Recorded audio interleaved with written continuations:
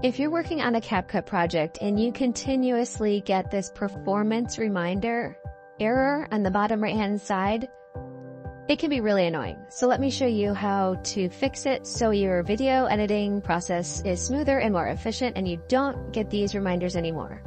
So if this pops up in your details section of your video, you can click modify and in the performance tab, turn on proxy.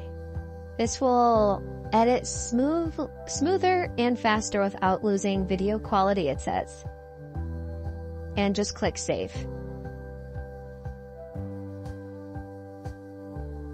Now, if you don't see the details section to the right, all you have to do is click anywhere on your timeline that's not on the video itself to get that section to appear. So I'm going to click on the timeline and now you'll see this detail section that you can go to click modify. So now if you go back to this main screen, you can see that the proxy is turned on. If you hover over the question mark, it says turn on proxy mode to improve editing fluidity without affecting the final exported video quality.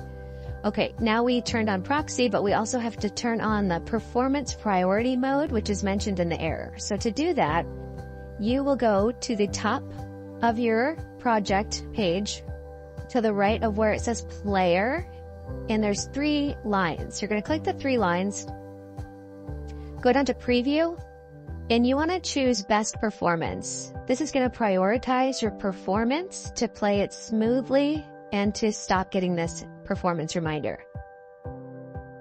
Okay, I'm just going to click it again just to make sure it's stuck and now you can see that it's defaulted to best performance. And that's it. That's all you have to do to get rid of this error and hopefully improve your performance.